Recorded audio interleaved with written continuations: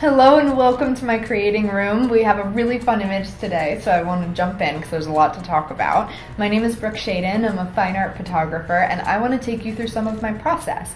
Now, I do a lot of shooting because I'm a photographer, but a lot of what I do is self-portraiture. So this is a little bit of a different image for me because this is not a self-portrait. This is a child. not anymore, but then she was. So I want to take you through how I would photograph a younger person and how I would edit it as well. So this image is so much fun to me. We have a lot to go through.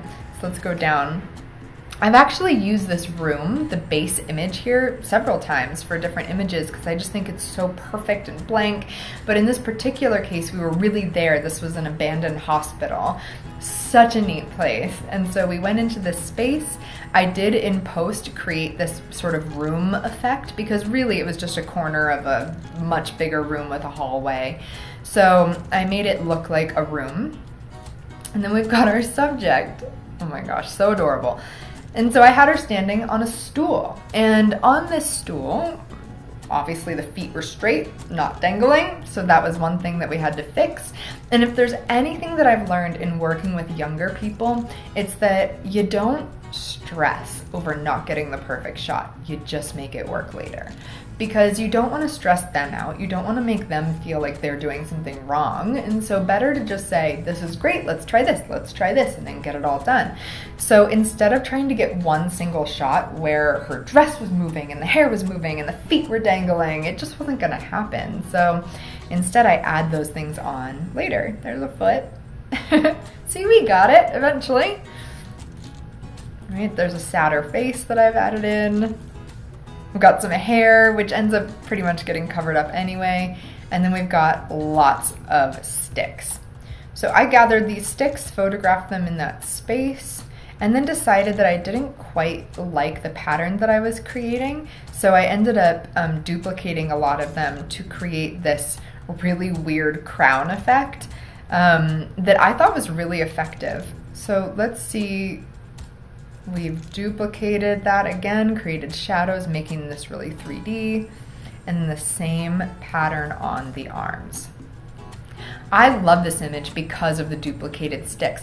At first I thought, oh, I really should use a different stick for every single element here to make it really unique, but it just really called for the symmetry of it and it almost, I don't know, it just has this really raw feeling that I just love.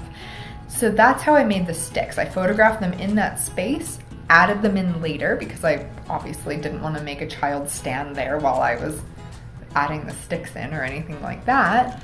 But that's how I did it. So I added the sticks later but shot in the same space, made a pattern out of them because I thought that would be interesting. You saw that I photographed her face separately, the dress in two parts, the feet in two parts.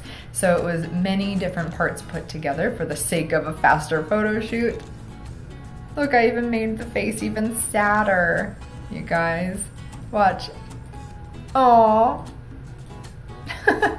I love doing that because, you know, it's I'm not great at directing people, even myself. I really don't excel at that. It's not something that I do easily. The next thing that I did was I didn't want to get anyone all dirty during the shoot. I didn't know them that well then. So I went ahead and I just added scuffs everywhere with the burn tool. We talked about the dodge tool earlier, the burn tool, making little dark marks all over her, not like Harry Potter. dark mark, never mind.